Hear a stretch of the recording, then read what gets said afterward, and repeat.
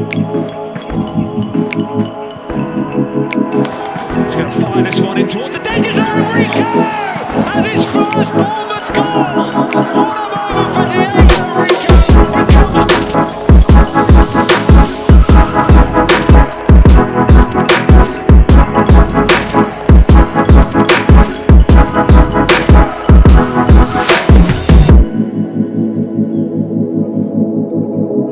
James Justin.